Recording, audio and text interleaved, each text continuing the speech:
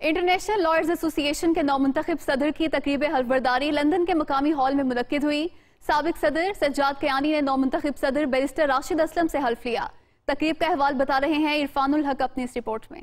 तकरीब हल्फ बर्दारी से खताब करते हुए नौ मुंतखब सदर बैरिस्टर राशिद असलम का कहना था कि वो अगराज मकासद को सामने रखते हुए तंजीम को आगे बढ़ाएँगे और दीगर ममालिक तक इसका दायरा कार वसी करेंगे। सबक सदर सज्जाद कयानी ने गुजशत साल की कारकर्दगी के हवाले से इजहार ख्याल करते हुए बताया कि कोविड के बावजूद उन्होंने कोशिश की कि तंजीम के मकासद को हासिल किया जाए, जिसमें वो कामयाब रहे। तकरीब से सबक सदर मोहसिन मलिक और सफदर इकबाल ने भी इजहार ख्याल किया। दुनिया न्यूज़ से गुफ्तु करते हुए नौमंतखब सदर बैरिस्टर राशिद असलम का कहना था कि उनकी कोशिश है कि ओवरसीज पाकिस्तानियों को वोट के हक और दीगर मसाइल पर हुकूमत पाकिस्तान से बात की जाए और मुख्तलिफ़ ममालिक में बसने वाले वकला और कम्युनिटीज के हकूक के लिए काम किया जाए। तो इंटरनेशनल लॉयर्स एसोसिएशन की तरजीह होगी हमारी और हमारी कैबिनेट की कि हम इस ऑर्गेनाइजेशन के प्लेटफॉर्म से जो ह्यूमन राइट्स की वायलेंस हो रही है, उस पर आवाज़ रेज करें। उसके अलावा जो एजुकेशनल एजुकेशन एजुकेशनल प्रोजेक्ट्स हैं जैसे सीपीडी पॉइंट्स हैं या जिसमें एजुकेशनल ग्रोथ हो सकती है वो वकला के लिए इस किस्म के प्रोग्राम्स मुनद करें ताकि लोग उससे मुस्तफ़ हो सकें उनको प्रैक्टिस में फ़ायदा हो सके। उसके अलावा हमारा ये भी एजेंडा है कि हम एक प्रोबोनो वर्क का डिपार्टमेंट कायम करें, जहाँ पे कम अज़ कम मेंबर नहीं तो कैबिनेट के लोग, कम अज़ कम पाँच लोगों को, पाँच कम्युनिटी के लोगों को फ्री लीगल सर्विसेज़ प्रोवाइड करें, क्योंकि यहाँ पे बहुत सारे लोग हैं जो सर्विसेज़ अफोर्ड नहीं कर सकते लीगल सर्विसेज़ महँगी होने की वजह से। उसके अलावा वोटिंग राइट्स का इशू है पाकिस्तानियों के लिए, जो एक बहुत अहम इशू है। कि वो पाकिस्तानी डायस्पोरा बहुत बड़ी तादाद में बाहर के मुल्कों में मुकीम है तो ये सारी चीज़ों को लेके हम इंशाल्लाह अगले साल चलेंगे। दुनिया न्यूज़ से गुफ्तु करते हुए सफदर इकबाल रुमाना कौसर मोहसिन मलिक सज्जाद कयानी बैरिस्टर वहीदुर रहमान मियाँ नदीम तास और दीगर ने बैरिस्टर राशिद असलम को मुबारकबाद देते हुए उम्मीद का इजहार किया कि वो वकला बरदरी समेत दीगर कम्युनिटी के वेलफेयर के लिए काम करेंगे। आज राशिद असलम साहब हमारे नए प्रेसिडेंट बने हैं। और सजाद कियानी साहब जो है उनकी फेयरवेल भी है, उनको हम वेलकम कर रहे हैं। आई एल ए के जो ऑब्जेक्टिव्स हैं, वो हमने एक्सप्लेन किए हैं यहाँ पे, जिसमें सोशलाइजिंग है। आप देखें कि कितने यहाँ पे लॉयर्स आज मौजूद हैं, और उन्हें एक दूसरे से मिलने का मौका मिला है। इसके बाद हम वील रिमेन इन कॉन्टेक्ट हम शेयर करेंगे अपने जितने भी लीगल इश्यूज़ हैं प्रॉब्लम्स हैं, ये बड़ी सपोर्ट हो जाती है। जब आप पाकिस्तान से इतनी दूर हों तो यही आपकी फैमिली है। जहाँ तक अगराज मकासद का ताल्लुक है इस ऑर्गेनाइजेशन का तो मैं समझता हूँ कि ये तीसरे प्रेसिडेंट हैं। एक प्रेसिडेंट से बढ़ के जो नेक्स्ट प्रेसिडेंट आ रहा है, उसकी क्वालिफिकेशन भी ज़्यादा है, उसमें कैपेबिलिटी भी ज़्यादा है। तो इसका मतलब ये है कि ऑर्गेनाइजेशन के जो ऑब्जेक्टिव्स हैं और उसकी जो टीम है वो सीरियस तरीके से जो एक्चुअली चीज़ें जिन्हें, जिन पे काम करने की ज़रूरत है ऑब्जेक्टिव के लिहाज से वो कर रही है। समझता हूँ कि बरिस्टर राशिद असलम साहब का एज ए सदर नॉमिनेट होना आई एल ए के लिए एक बहुत ही खुश बात है और ये साजिद क्यानी की तरह और आई एल ए के लिए बहुत काम करेंगे और ओवरसी कम्युनिटी के लिए, लायर के लिए और इस ऑर्गेनाइजेशन के लिए दिन रात काम करेंगे। हम उम्मीद करते हैं कि ये इस ऑर्गेनाइजेशन को इससे दो स्टेप आगे लेके जाएँगे और तमाम जितने भी वकला हैं, लायर हजरात हैं, सोलिसिटर, बरिस्टर, सब की इनको सपोर्ट हासिल है। बेसिकली नए प्रेसिडेंट जो हैं बैरिस्टर राशिद असलम साहब, उनकी ओर्थ टेकिंग सेरेमनी थी। काफ़ी ज़्यादा उनकी खदमात हैं लॉर्ड्स के हवाले से भी और ओवरसीज़ पाकिस्तानीज़ के राइट्स के हवाले से भी। तो इन ये एक अफेक्टिव प्लेटफॉर्म है। इसको इस्तेमाल करते हुए ओवरसीज़ पाकिस्तानीज़ की और बिलखसूस लॉर्ड्स की आवाज़ बुलंद करेंगे। और जॉइंट एफर्ट है, ओवरसीज़ पाकिस्तानी जो यहाँ बसते हैं और उनके मसाइल जो यहाँ पे हैं और उनके मसाइल जो पाकिस्तान में हैं। जो फोरम आज तश्कील दिया गया है इस ऑर्गेनाइजेशन के लिए, उसमें हम लोगों के लिए यह है कि लॉयर्स को एक फोरम चाहिए जो उनके लिए सूटेबल हो। तो मेरे हिसाब में जो कैबिनेट आज चुनी गई, वो हमारे उमंगों की तर्जुमान लग रही है और हमें ऐसी एक एनर्जेटिक और और फुल ऑफ़ पैशन रिप्रेजेंटेशन चाहिए। समझता हूँ कि बैरिस्टर राशिद असलम साहब का इंतखब एक बेहतरीन इंतखब है। वो इंतहाई मतहरक शख्सियत हैं और मैं समझता हूँ कि वकला बरदरी के लिए वो बहुत अच्छे काम करेंगे। सबसे पहले तो मैं उनको बहुत बहुत मुबारकबाद देना चाहूँगी इस पोजीशन के लिए और मैं समझती हूँ कि बिकॉज़ उनकी नॉलेज है उनका एक्सपीरियंस है ये लीगल फ़ील्ड में तो ये बहुत ही अच्छे कैंडिडेट होंगे इस ऑर्गेनाइजेशन को आगे बढ़ाने के लिए। Besides the COVID जो जितने भी objectives और aims थे आई के वो आ, मैंने अचीव किए आई की एक्सपेंशन हुई लोगों की ट्रेनिंग हुई और आ, नए लोग ऑन बोर्ड हुए जो मोस्टली लॉयर्स और सलिसिटर्स हैं। और इसके अलावा जो ह्यूमन राइट्स के इश्यूज़ थे उन्हें हमने नेशनल और इंटरनेशनल फोरम पे उजागर किया। तकरीब में मारूफ गुलकार सुहेल सलामत ने भी अपने फन का मुजाहरा किया। पाकिस्तान की मसनूआत को आलमी मंडियों तक मुतारिफ और ऑनलाइन बिजनेसिस को प्रमोट करने के लिए एडिस्टन क्रिकेट ग्राउंड में पाकिस्तानी प्रोडक्ट्स की नुमाइश मुनद हुई, जिसमें बरतानिया भर से आए तजारती वफूद ने शिरकत की। Lord mayor of Birmingham Mohammad Afzal ने फीता काटकर नुमाइश का अफ्ताह किया। नासिर महमूद की रिपोर्ट देखिए। फलाही तंजीम आपवा की चेयरपर्सन रिफत मुगल और अदीला परवेज की तरफ़ से मुनदा नुमाइश में, जहाँ पाकिस्तानी मसनूआत को मुतारफ किया गया, वहीं पाकिस्तानी खातन को ऑनलाइन अपने कारोबार को प्रमोट करने का मौका फराहम किया गया है। Lord mayor of Birmingham Mohammad Afzal और vice consul general of Pakistan, Sardar Mohammad Khan Khattak ने फीता काट कर सजाए गए मुख्तलिफ़ स्टॉल का दौरा किया और खातन की पाकिस्तान ऐसी मोहब्बत की तारीफ़ की। उन्होंने कहा की किसी माशरे की खुशहाली और तरक्की के लिए खातन का किरदार हमेशा से अहम रहा है और बरतानिया की मसरूफ तरीन ज़िंदगी में जिस तरह खातन के लिए घर में बैठे ऑनलाइन कारोबार की सहूलत फ्राहम करने के लिए नमूद नुमाइश लगाई गई है, इससे न सिर्फ़ एक खुशहाल खानदान तश्कील पाएगा, बल्कि पाकिस्तान और बरतानिया की मीशत को भी सहारा मिलेगा। दुनिया न्यूज़ ऐसी गुफ्तु करते हुए ब्रिटिश पाकिस्तानी मर्द खातन ने कुछ यूँ इजहार ख्याल किया। पोस्ट कोविड रिस्ट्रिक्टेड सिचुएशन में इकोनॉमी के लिए बिज़नेस मैन के लिए बिज़नेस वमेन के लिए इस तरह के इवेंट्स बड़े ज़रूरी हैं। And I must congratulate the organiser Rifat एनदीला and we expect in hope के मुस्तबिल में भी ये इस तरह के इवेंट्स का इनका करते रहेंगे। ये फ़र्स्ट टाइम एक बिज़नेस एग्जीबिशन हुआ है जिसमें uh, जो लोग ऑनलाइन बिज़नेस करना चाहते हैं कर रहे हैं और जो लोग अपने बिज़नेस को प्रमोट करना चाहते थे वो लोग आए हैं माशाल्लाह काफ़ी बड़ी तादाद में और पब्लिक भी आई है। Amazing exhibition today I was invited at and our Zoya has done a tremendous job bringing so many businesses together introducing so many new businesses within the industry and it's a great platform and great way for people to promote their business Pakistan का culture नुमाया हो रहा है तो इसी तरह आगे भी हमारा प्लान है कि बहुत अच्छे अच्छे इवेंट हम लेके आएँगे। जिससे ना कि सिर्फ़ पाकिस्तान का कल्चर प्रमोट होगा, बल्कि इधर के लोकल बिजनेसेस को भी हेल्प मिलेगी। मुख्तलिफ़ कल्चर के लोग आए हमारी यही कोशिश होती है कि अच्छा से अच्छी चीज़ करें जहाँ से लोगों को इंटरेस्ट हो। Today we are in Edgbaston cricket ground इधर एक एग्जीबिशन हो रही है which is really good opportunity for small businesses to promote hopefully it's gonna help all the small business मैं लंदन से आई हूँ मेरा अपना क्लोथिंग ब्रांड है। बर्मिंगम बड़ा अच्छा था डिफरेंट ऑडियंस थी। दे वर ट्राइंग कि ऑनलाइन बिजनेसेस को प्रमोट करना टू प्रमोट स्मॉलर बिजनेसेस यहाँ पर जितने भी स्मॉल बिजनेसेस हैं उन सबको आज अपॉर्चुनिटी मिली है। कि यहाँ पर वो अपने बिज़नेस को प्रमोट करें। बहुत अच्छा लगा है बड़े अच्छे डिफरेंट किस्म के बिज़नेस ने शिरकत की है और वुमेन एम्पावरमेंट के लिए बड़ा अच्छा ये मौका है सबके लिए इसमें। वो हिस्सा लें और आके इनको प्रमोट करें। काफ़ी लोग आज अलहमदिल्ला यहाँ आए हैं। और पाकिस्तान के ये स्टॉल जो हैं वो यहाँ इनको प्रमोट करना चाहिए और पाकिस्तान की प्रोडक्ट को प्रमोट करना चाहिए। मैं इस तरह की तमाम इस तरह की जो से ये कारोबारी किस्म के जो लोग हैं उनको अप्रिशिएट करती हूँ कि वो इस तरह से यहाँ पर आए हैं। पाकिस्तानी बिजनेसेस हैं उनको प्रमोट करने के लिए एक प्लेटफॉर्म जो है वो मैसर है आप लोगों को। और जो नए रुझानात हैं नए बिजनेसेस हैं उनको जो है फ़रोग देने के लिए इस तरह की एग्जीबिशन जो है वो बड़ी मावन मददगार होती है। पेंडेमिक के बाद हम लोग सब बहुत इंजॉय कर रहे हैं इस इवेंट को। और मैंने भी बहुत इंजॉय किया है, मैंने अपना स्टॉल लगाया है। बहुत ही अच्छा प्लेटफॉर्म है। अगर आपकी नई कोई बिज़नेस है तो इधर आकर बहुत ही अच्छा लगा। काफ़ी कंपनीज़ जो है वो यहाँ पर प्रमोट कर लिया अपने सर्विसेज़ अपने प्रोडक्ट्स को। इससे एक हमारे जो कल्चरली हमारा जो लिबास है उसको भी प्रमोट किया पाकिस्तान के लिबास को भी प्रमोट हुआ है और साथ साथ जो लोगों के बिजनेसेस हैं उनको भी प्रमोशन मिली है। It's been a really good experience here today to be able to showcase the pieces and to be part of such an amazing event.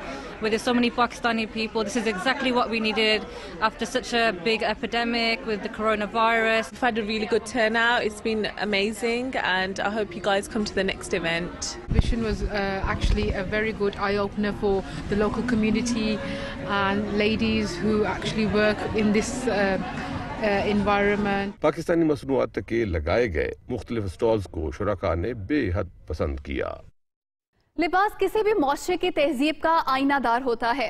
बरतानिया में पाकिस्तानी डिजाइनर्स के तैयार करदा मर्दाना पहनावे मैनचेस्टर के शहरियों को भा गए इस हवाले से मकामी रेस्टोरेंट में एक तकरीब हुई, जिसमें मॉडल्स ने पाकिस्तानी सकाफत के रंग बिखेरे और योम आज़ादी की मुनासबत से मिली नगमे भी पेश किए गए। सकाफत और मिली जज्बात से भरपूर शाम का अहवाल जानते हैं chief reporter North England Ishaq Chaudhry से।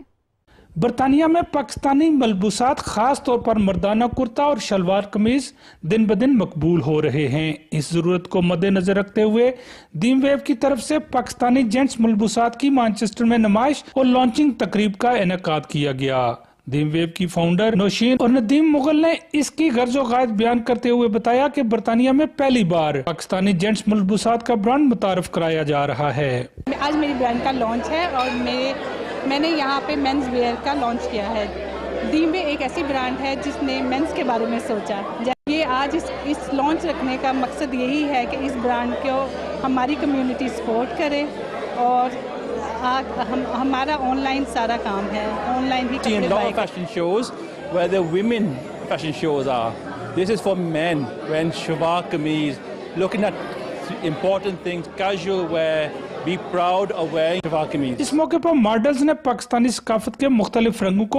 खूबसूरत अंदाज में पेश किया।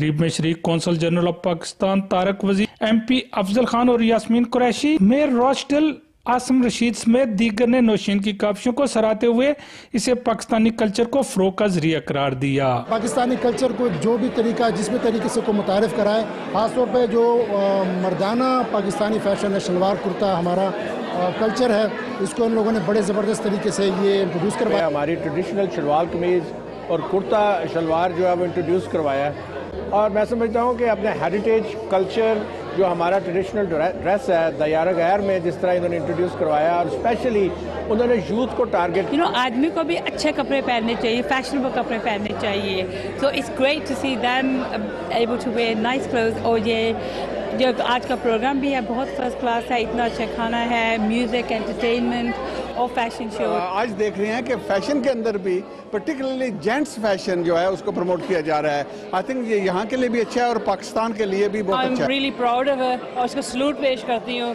इसने जो सोचा वो ही इम्प्लीमेंट नशीन आपी और नदीम भाई को ऑन सक्सेसफुल इवेंट मैं बोला तालीम आ रही मैं इतनी खुश हूँ मैं तालीम बहुत मेहनत की है बहुत अच्छा गैदरिंग की है बहुत अचीवनी इवेंटफुल इवनिंग है, हमने बहुत इंजॉय किया, और सारे गेस्ट बहुत खुश हैं। इस मौके पर यूम आज़ादी की मुनासबत से भी कैट वॉक किया गया।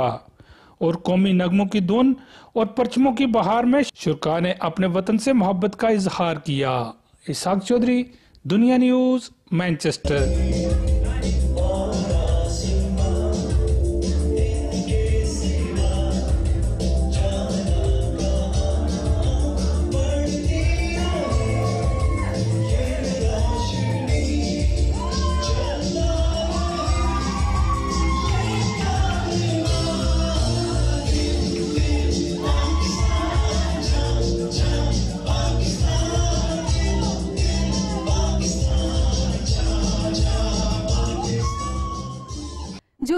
Sports hub, Yorkshire के जेर तमाम बिलाल स्पोर्ट्स सेंटर लीड्स में बच्चों के लिए मुख्तलिफ़ सरगर्मियों का इनका किया जा रहा है, जिससे तकरीबन 300 बच्चे मुस्तफ़ होते हैं। ऑर्गेनाइजर का कहना है कि इस तरह की सेहतमंदाना सरगर्मियाँ बच्चों के लिए अशद ज़रूरी हैं।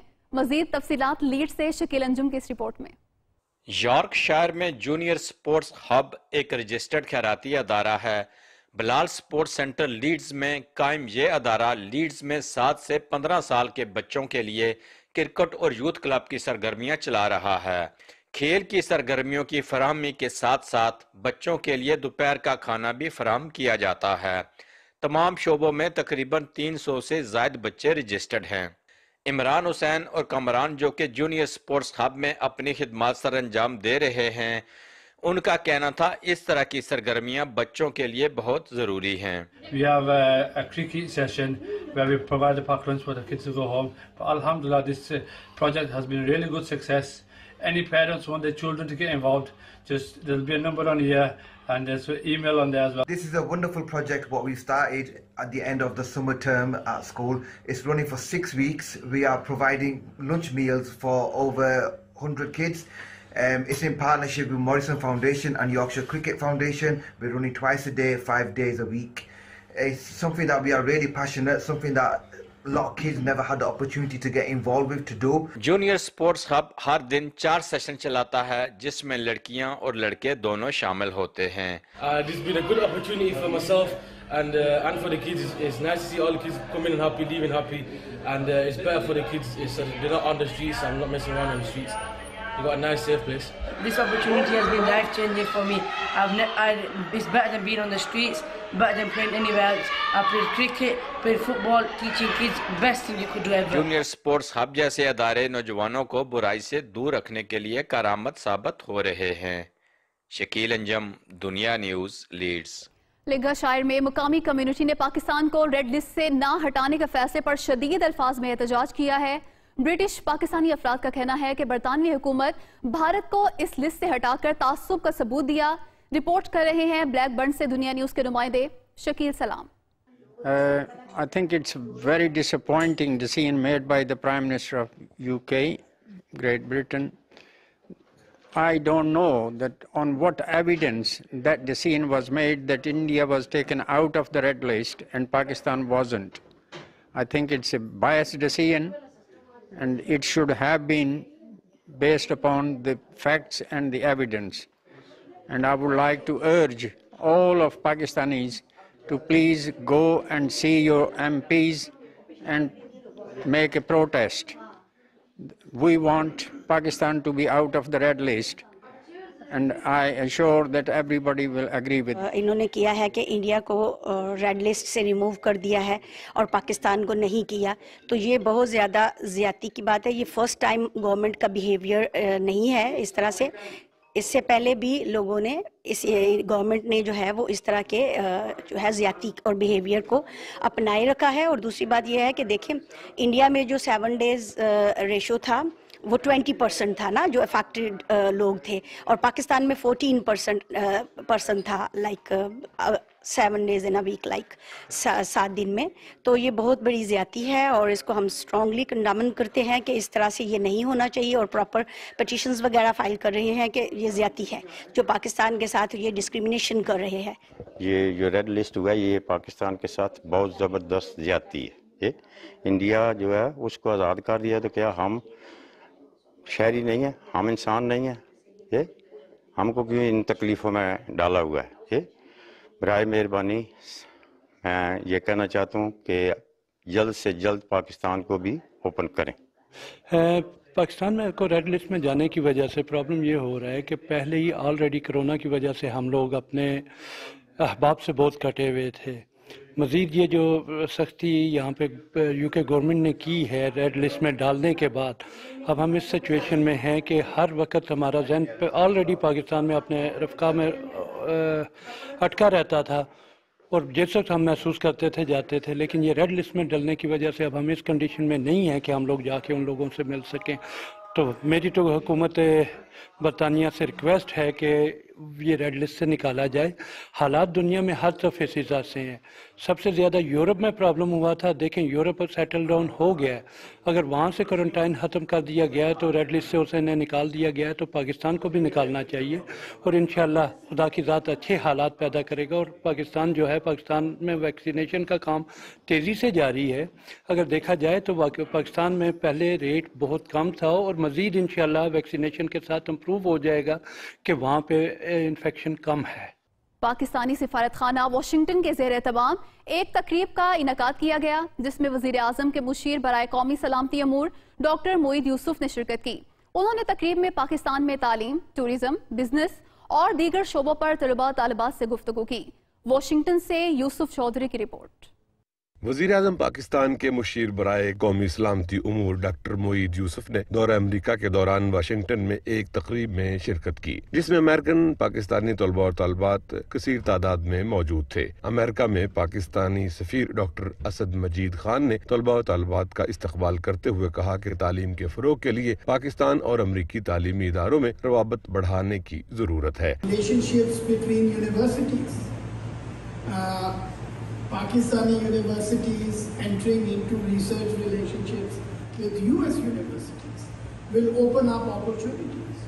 You know, Fulbright program is one example I give you, where uh, government of Pakistan puts its own money, the Higher Education Commission, and if a student uh, is able, uh, uh you know, uh, to secure admission uh, in a good तलबा से खिताब करते हुए doctor Moid Yusuf का कहना था कि पाकिस्तानी तलबा के लिए अमरीका के तालीमी इदारों में तालीम के हसूल का मैकेनिज्म होना चाहिए This is again a conversation about opening spaces for people back home who want to do business here, who want to come and study here.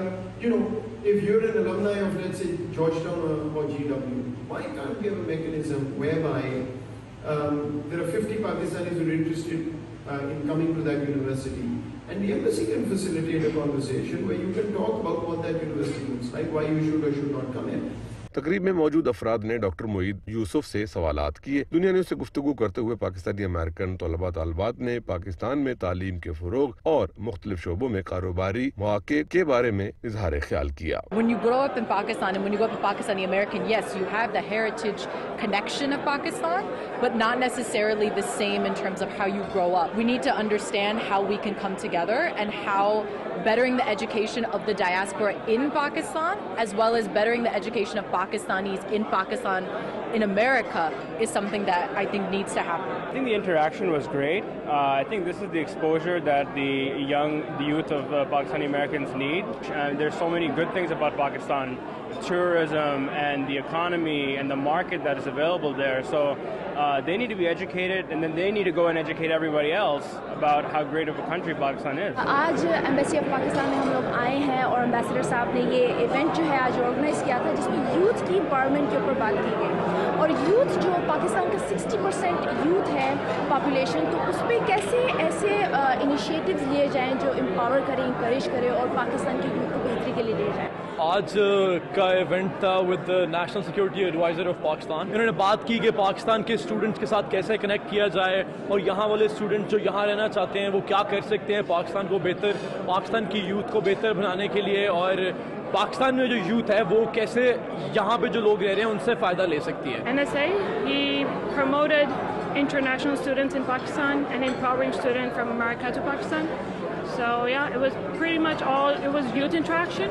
He invited everyone over to talk about it. Pakistani सफारत खाना Washington के जेर एहतमाम तकरीब में तलबा ने पाकिस्तान में तालीम और दूसरे शोबों में पाकिस्तानी सफारत खाने की काविशों को सराहा तहरीक कश्मीर बरतानिया के जेर तमाम बर्मिंगम लंदन और बरतानिया के मुख्तलिफ़ शहरों में कार रैलियाँ एहतजाजी मुजाहरे और डिजिटल कैंपेन चलाई गई। भारत की जानब से कश्मीर पर मुजालिम को बेनकाब करने के लिए वेबिनार का भी अहतमाम किया गया। इस हवाले से तफसीत बता रहे हैं नासिर महमूद अपनी इस रिपोर्ट में। यौम इस्तेसाल कश्मीर के हवाले से बर्मिंगम में कश्मीरी रहनुमाओं और समाजी कारकुनों ने वेबनार का एहतमाम किया, जिसमें मकबूजा कश्मीर में जारी भारतीय पाबंदियों पर तफसीली गुफ्तगु की गई। वेबनार में अब्दुल मजीद तरम्बू, नजीर अहमद शाल, Abdul Latif Bhatt, Ishtiaq Ahmad, Frank शुआबे, clear Bedwell, Graham Williamson समेत दीगर मुआजीन ने शिरकत की। दूसरी जानब बर्मिंगम समेत लंदन और दीगर शहरों में डिजिटल वैन पर मकबूजा कश्मीर में होने होने वाले मजालिम को उजागर करने के लिए तहरीक कश्मीर बरतानिया के जेर एहतमाम कम्पेन चलाई गई डिजिटल कम्पेन का आगाज़ भारतीय हाई कमीशन के बाहर से किया गया। इस मौके पर तहरीक कश्मीर बरतानिया के सदर राजा फहीम क्यानी ने कहा कि दो साल पहले मोदी ने आर्टिकल 370 और 35 ए को मनसूख करके इंसानी तारीख का बदतरीन कर्फ्यू नाफिज किया, जबकि तहरीक कश्मीर यूरोप के सदर मोहम्मद गालिब का कहना था कि वो अपने कश्मीरी भाइयों के लिए आवाज़ बुलंद करते रहेंगे।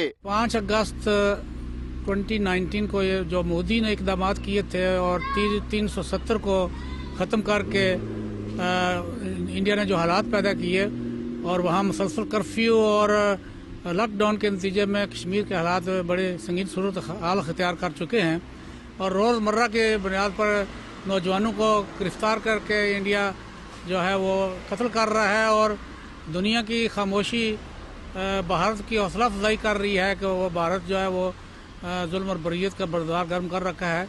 इन हालात में हम यूनाइटेड नेशन और बिलखसूस बरतानिया जो सिक्योरिटी काउंसिल का परमानेंट मेंबर है, हम उनसे मुतालबा करते हैं कि कश्मीर के मसला को जो यूनाइटेड नेशन की करारदादें हैं, हिंदुस्तान ने जो वादे और मुआदे कर रखे हैं उसके मुताबिक हल किया जाए। कश्मीरी रहनुमाओं का कहना था कि भारत अपने मजालिम से कश्मीरी कौम को अपने बुनियादी मुतालबा हक खुद इरादियत से दस्तबरदार नहीं करा सकता। वो जान तो दे देंगे लेकिन अजम आज़ादी को शिकस्त नहीं होने देंगे। फ्रेंड्स ऑफ़ कश्मीर के जेर तमाम योम इस्तेसाल कश्मीर पर यूनानी पार्लियामेंट के सामने बड़ा मुजाहरा किया गया। मुजाहरे में यूनान भर से पाकिस्तानी और कश्मीरी कम्युनिटी ने शिरकत की। एथेंस की फिजा भारत मुर्दाबाद और मोदी मुर्दाबाद के नारों से गूंज उठी। मजीद तफसी जानते हैं ज़फ़र साहि की इस रिपोर्ट में।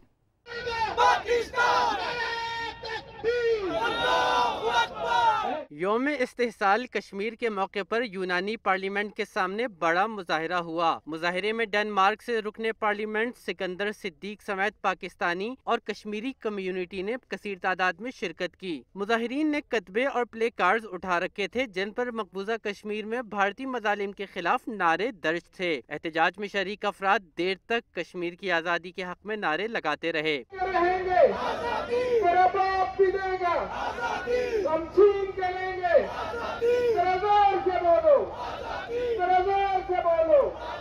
मुजाहरीन का मुतालबा था कि भारत मकबूजा कश्मीर की खसूसी हैसियत को फौरी बहाल करे। दुनिया न्यूज़ से गुफ्तु करते हुए सिकंदर सिद्दीक और पाकिस्तानी कम्युनिटी के अकाबरीन ने कहा कि भारत मकबूजा कश्मीर में इंसानी हकूक की संगीन खिलाफ वर्जियों में मुलविस है। आज के इस मुजाहरे में यूनानी आवाम को मकबूजा कश्मीर में होने वाले भारतीय मजालिम से आगाह किया गया है। आज जनाब पाँच अगस्त को योम साल कश्मीर के हवाले से जो सीधा मनाया गया है इसमें आज आवाम ने सब बता दिया है कश्मीरी बहन भाइयों के लिए जो मोदी हुकूमत अपने कश्मीर बहन भाइयों पे जुल्म डाल रही है और 370 जो उसने ख़त्म किए है, उसके हवाले से आज भरपूर मुजाहरा हुआ है।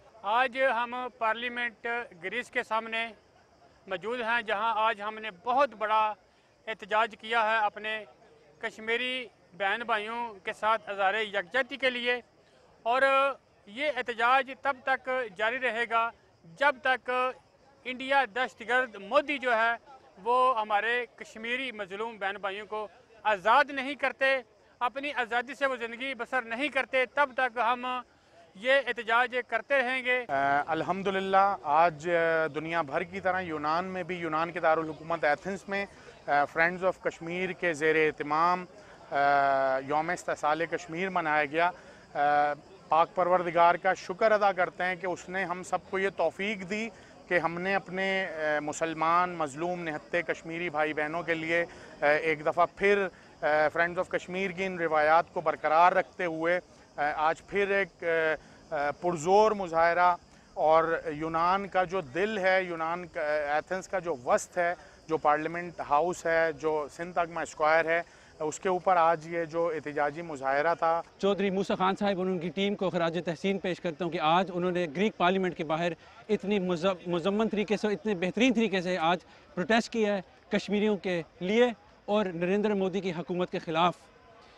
हमारा आज एक ही एम था कि हम ग्रीक पार्लियामेंट से ये अपील करें बल्कि ये डिमांड करें कि वो खुले अल्फाजों में नरेंद्र मोदी की हुकूमत और जो उनका रवैया है कश्मीर में, उसको कंडेम करे। और हम डेनमार्क में भी पार्लियामेंट में, आज ग्रीक की पार्लियामेंट में, और हम यूरोप की हर पार्लियामेंट में अब ये मुहिम चलाएँगे। आज जो जितने भाई आए ने ज़िले मंडी दे, जहाँ पाकिस्तानी, उन्होंने बड़े सी शुक्रगुजार हाँ काल दी है। ਜਿਤਨੇ ਬਾਈ ਮੰਡੀ ਦੇ ਆਣ, ਸਾਰਿਆਂ ਨਾਲ ਆਵਾਜ਼ ਮਾਰੀ ਹੈ ਸਾਰੇ ਆ ਗਏ ਨੇ। ਬੜੀ ਉਹਨਾਂ ਦੀ ਮਿਹਰਬਾਨੀ ਹੈ ਕਸ਼ਮੀਰ ਵਾਸਤੇ ਸਾਡੀ ਜਿੰਦ ਵੀ ਹਾਜ਼ਰ ਹੈ ਜਾਨ ਵੀ ਹਾਜ਼ਰ ਹੈ ਮਾਲ ਵੀ ਹਾਜ਼ਰ ਹੈ ਇਨਸ਼ਾਅੱਲਾ ਅਸੀਂ लड़ते रहे कश्मीर ना जितना देर उन्होंने आज़ादी नहीं मिलती शुरा का कहना था कि भारत दुनिया का सबसे बड़ा जमहूरी मुल्क होने का दावा करता है मगर हकीकत इसके बरअक्स है भारत में अकलीतों को कोई तहफ़ हासिल नहीं है आलमी बरदरी और अकवा मुतहदा से मुतालबा करते हैं वो भारत के अंदर और मकबूजा कश्मीर में इंसानी हकूक की खिलाफ वर्जियाँ फौरी बंद करवाए सऊदी दारकूमत रियाज में पाकिस्तानी सिफारत खाने के जेर तमाम योम इस्तेसाल कश्मीर की मुनासबत से वेबिनार का इनका किया गया, जिसका मकसद मसला कश्मीर को बैन अवी सतह पर उजागर करना, कश्मीरियों के साथ यकजहती और मकबूजा कश्मीर में जारी भारतीय अफवाज के इंसानी हकूक की खिलाफ वर्जियों को उजागर करना था। तफसीत बताएँगे इम्तियाज़ अहमद। मकबूजा कश्मीर में भारत के 5 अगस्त 2019 के गैर कानूनी इकदाम के दो साल गुजरने पर पाकिस्तानी सफारत खाना रियाज में योम इस्तेसाल वेबनार का एहतमाम किया गया, जिससे खिताब करते हुए सफीर Pakistan lieutenant general retired Bilal Akbar का कहना था कि जम्मू कश्मीर एक बैन अवी तस्लीम शुदा मुतनाज़ इलाका है, जिसकी अकवा मुतहदा की सलामती कौंसल की मुतद करारदादों ने तस्दीक की है। उन्होंने मजीद कहा कि हुकूमत पाकिस्तान पाकिस्तान और पाकिस्तानी अवाम मसला कश्मीर के हल के लिए पुरअज़म है पाकिस्तान अपने कश्मीरी बहन भाइयों के हकूक के लिए हमेशा आवाज़ बुलंद करता रहेगा When in violation of international law, India repealed the special status of Jammu and Kashmir and annulled the Article 370 and 35A of its constitution. We have with us a very worthy panel. In order to begin the proceedings of the webinar, let me introduce our panel. We have uh, Ms. Mashal Malik, Kashmiri human rights activist and wife of Kashmiri leader Yasin Malik. Honorable Justice Syed Manzoor Gilani, former Chief Justice of Azad Jammu and Kashmir, Supreme Court and High Court, Excellency Ambassador Awad Al-Asiri, former Ambassador of KSA to Pakistan, and Lieutenant General Bilal Akbar, Ambassador of Pakistan to KSA, who will share with us his concluding remarks. Ladies and gentlemen, without any further ado, I would like to invite Ms. Mashal Malik to enlighten us about the situation in Indian illegally occupied Kashmir. The human rights situation in occupied Kashmir is grave as fundamental freedoms remain suspended. The crisis is repeatedly highlighted by the United Nations Human Rights Commissioner, international community, and international media. Ladies and gentlemen, the people of IIOJK are facing state terrorism through fake encounters, indiscriminate use of pellet guns, cordon and search operations, and use of live and heavy ammunition against unarmed innocent civilians, including तकरीब से कश्मीरी रहनुमा chairperson peace and culture organization Mishal Malik सबक chief justice Jammu Kashmir Syed Mansoor Gilani सबक Saudi सफीर बरए Pakistan Ali Ahvaz अलसैरी और दीगर मुकर्रीन ने अपने ख्याल का इजहार करते हुए हक खुद इरादियत के लिए जद्दोजहद करने में कश्मीरियों की कुर्बानियों को भरपूर खराज तहसीन पेश किया। Um, the Nazi order of uh, Hitler uh, in, in committing the worst form of brutalities against an unarmed nation. So this is a very alarming situation that, you know, um, if the world does not wake up or take action against this, we don't just want lip service from the world. We want serious legal action against this lawfare committed by India. worked in Pakistan for almost nine years as the Saudi ambassador, and I have witnessed quite a few incidents in, in Kashmir, a tragic incident in Kashmir. avail the opportunity to congratulate Excellency Ambassador General Jail Bilal Akbar for holding this webinar on Kashmir, particularly on the day when the Kashmiris under the Indian occupation were given the worst betrayal by India, who had entered the state मुकर्रीन ने भारत से मुतालबा किया कि वो गुजशत सात दिहाइयों से गैर कानूनी कब्जे में मासूम कश्मीरियों पर जुल्म बर्पा करने से बाज आ जाए, जबकि जमीनी सूरत हाल का मुशाहिदा करने के लिए गैर मुल्की मीडिया नुमाइंदान समेत इंसानी हकूक के बैन अवी मुबसरीन को कश्मीर में जाने और हक जानने की इजाज़त दी जाए। जनूबी अफ्रीका के सबका मेंबर पार्लियामेंट और शेडो मिनिस्टर बराई डिफेंस सैयद रफीक अली शाह ने कश्मीरियों के साथ इजहार यकजहती करते हुए कहा है कि कश्मीरियों को उनका हक खुद इरादियत दिया जाए। रॉयल फैमिली कश्मीरियों के साथ खड़ी है। जब तक उनको उनका हक नहीं मिल जाता इंडिया यूनाइटेड नेशन की करारदादों का एहतराम करे और इस जुल्म बरबरीत को फौरी बंद करे। The Palestine issue, the solution to the Kashmir issue is long overdue and remains since 1947 and is indeed a cause for great concern because it presents a serious threat to that region as well as world peace. The government of India recently revoked Article 370 of the Constitution, which gave Indian administered Kashmir special status. It guaranteed uh, significant autonomy for the Muslim majority state. Uh, this action of theirs led to protest and uh, a great deal of unrest in the valley. And the, this measure was ac- accompanied by a, uh, total communication and media blackout uh, in the Kashmir Valley, uh, which was subsequently placed under uh, lockdown. Today, the Kashmir Valley has become uh, one of the most militarized zone on this earth, on planet Earth. International agencies like the Red Cross, Human Rights Watch, UN Commission of Human Rights, uh, U.S. State Department, they've all reported uh, incidents of gross violation of human rights uh, in Kashmir, and uh, without anyone being seriously held accountable. These abuses range from mass killings and forced disappearance, torture, and rape to political repression and freedom of speech. And then we noted the entire political leadership in the valley uh, being placed under house arrest at the time, and some were placed in jail. Amnesty International accused the Indian uh, security forces of exploiting the what they call the Armed Forces Special Act, which enables them to hold prisoners without trial, sometimes as much as uh, as long as two years, uh, without having uh, followed a due legal process. We call on all freedom loving people of the world to rally behind the voices of the people of Kashmir. And we call on the United Nations to implement all relevant resolutions related to the Kashmir issue uh, and, and that which uh, guarantees them their inalienable rights to self determination. I think all freedom loving people of the world should support that.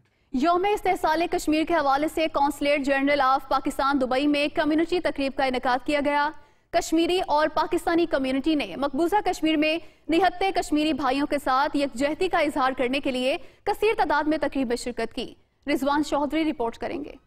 Dubai में होने वाली तकरीब के शुरा को सदर और वज़ीर आज़म पाकिस्तान के पैगाम पढ़कर सुनाए गए। तकरीब से खिताब करते हुए कौंसल जनरल समेत कश्मीरी रहनुमाओं और कम्युनिटी के अरकान ने 5 अगस्त 2019 से भारतीय काबज फोर्सेज की तरफ़ से भारतीय गैर कानूनी मकबूजा जम्मू कश्मीर में एक तरफा गैर कानूनी और इंसानी हकूक की संगीन खिलाफ वर्जियों की शदीद अल्फाज में मजम्मत की। उन्होंने कश्मीर काज के लिए भरपूर हिमायत का अदा करते हुए इस अजम का इजहार किया की मकबूजा कश्मीर के लिए अपनी जद्दोजहद जारी रखेंगे। मीडिया ऐसी गुफ्तु करते हुए कौंसल जनरल हसन अफजल खान ने कहा कि भारत ने गुजशत सात दिहाइयों में और ख़ास तौर पर पाँच अगस्त दो हज़ार उन्नीस से मासूम कश्मीरियों के खिलाफ इंसानी हकूक की खौफनाक खिलाफ वर्जियों का इरतकब किया है। मुकम्मल दो साल से आ, कश्मीर जो है वो आ, इंडिया के आ, आर्टिकल 370 और 35 ए के एब्रोगेट होने के बाद एक दुनिया की सबसे बड़ी जेल बनी हुई है। तमाम कश्मीरी जो हैं उनके बेसिक ह्यूमन राइट्स वो उनसे छीन लिए गए हैं। उनके पास इवन इवन उनको मस्जिदें जाने से रोका जाता है, नमाज़ पढ़ने से रोका जाता है। उनको इसके अलावा जब अगर वहाँ फौतगी हो जाए तो वो भी एक जनाजे की उनको इजाज़त नहीं है। सो इन तमाम चीज़ों के लिए, इन तमाम मसाइल के लिए पाकिस्तान हुकूमत जो है, वो हर फोरम पे कश्मीरियों के लिए आवाज़ बुलंद कर रही है। पाकिस्तानी अवाम, पाकिस्तानी गवर्नमेंट, कश्मीरी बहन भाइयों के साथ हैं और उनकी हक खुद इरादियत के लिए हर मुमकिन कोशिश जारी रखें। कौंसल जनरल ने मसला कश्मीर के पुरमन हल के लिए पाकिस्तान के मौकफ की तस्दीक करते हुए निहत्ते कश्मीरी भाइयों की इखलाकी, सियासी और सफारती हिमायत जारी रखने के लिए हुकूमत पाकिस्तान और पाकिस्तानी अवाम के मज़बूत अज़म का अदा किया।